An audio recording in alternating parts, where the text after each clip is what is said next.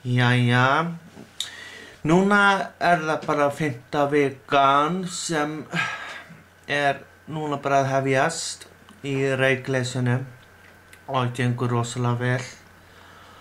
Og ég er að pælja að halda áfram á þessu, Champions og ég hérna lefði mér einn dekurdag í dag í húðslípun og er svolítið svíður svolítið andlitun eftir það. En ég veit ekki, ég ætla kannski ekkert að fara í aftur í það en hérna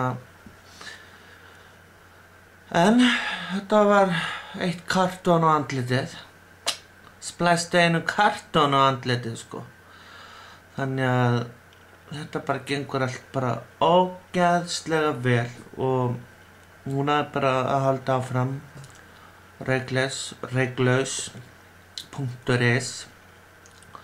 og bara núna bara þú sína og bara að geta hægt að reykja. Ég mæli með því að þið sem eru í erfiðleikum með hægt að reykja endilega kommenta og spyrja þú veist hvernig þessi lif þessi Champix virka. Þú þarft að fá, fá þetta frá lækni og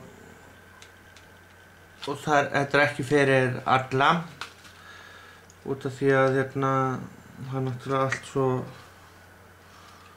það er svo þú veist, lifi er ekki fyrir alla.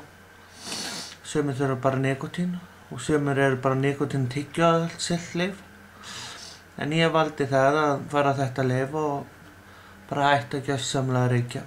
Ég draf í fyrir fjórum vikum og eitt, þrýr þrem dögum síðan. Þannig að svona er það. Thank you very much for listening.